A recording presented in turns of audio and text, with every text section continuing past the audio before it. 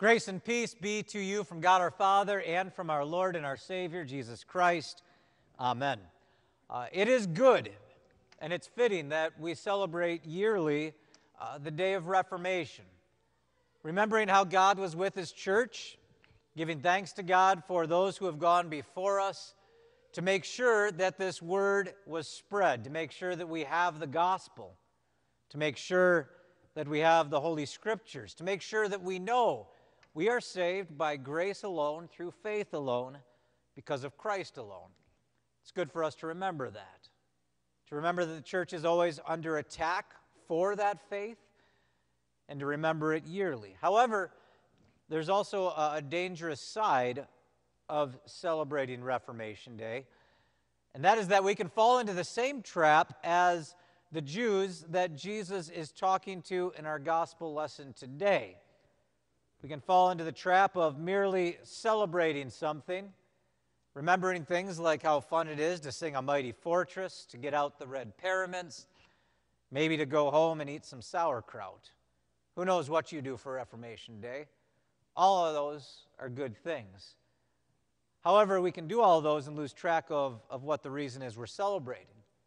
That's kind of what happens in our gospel lesson today. The, the Jews are there in Jerusalem having celebrated the Feast of Booths, one of the great feasts, the times of the church year, where they would go and they would gather in Jerusalem and, remember, remember how God was with them, how God dwelled in a tent with them in the wilderness, how God preserved them and kept them safe. And of course, they would go and they would celebrate these festivals, but they lost track often of what the festival was really about. It became just another cultural thing, another thing that they do, maybe every time around October 31st, as it is for us with Reformation Day.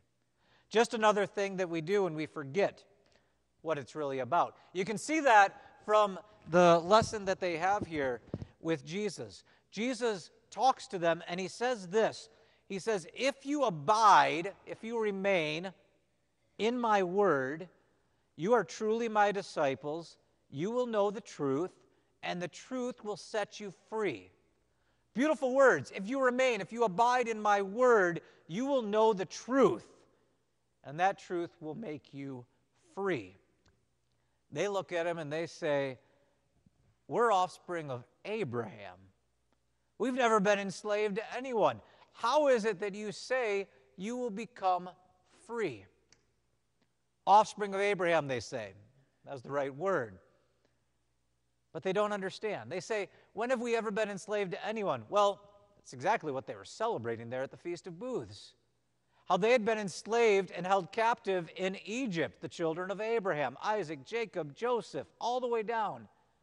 How they had been enslaved in Egypt, how God had heard their cry, came and delivered and rescued them. Of course, they had been enslaved before. They were enslaved later on when they fell away from God's word and rejected those gifts at the temple and fell apart from God, started chasing other idols, and so the Babylonians came over and took them captive. God, of course, set them free again. And even then, in the context of that day, maybe, maybe they knew their past, but they say we're not enslaved to anybody, but there they are with the Romans occupying their land underneath their rule paying taxes to Rome. They had forgotten what they were really celebrating. They were just taking joy that they're children of Abraham. What do you mean? We need to be set free. Dear Christians, we can do that with our Lutheran heritage too. Why are we Lutheran? It's because that's what we were born into, because it's part of our cultural heritage in this part of our country. Why?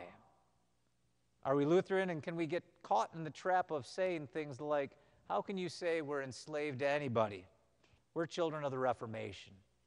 We're children of Luther. Our names are here on the rolls at Trinity. How can you say we're enslaved to anybody? But that's our problem too. See, even if you took apart the idea that the Jews were enslaved when they were in Egypt and then the Babylonian captivity, and even a little bit of the Roman Empire at that time, Jesus tells them an even stronger truth something that's true for us too. They say, We've never been enslaved to anybody, and Jesus answered them, Truly, truly, I say to you, Everyone who practices sin is a slave to sin. Even if you take apart the Egyptian slavery, the Babylonian captivity, even the Roman occupation, Jesus says, You all are still enslaved. You are enslaved to sin, it rules your life. We're enslaved as well, too. What holds us in slavery today? Well, you can ask yourself the question what orders your day? What do you order your whole life around? Is it work? Is it money? Is it security? Is it your children?